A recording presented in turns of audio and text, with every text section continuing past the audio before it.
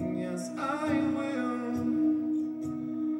I will trust in the Lord.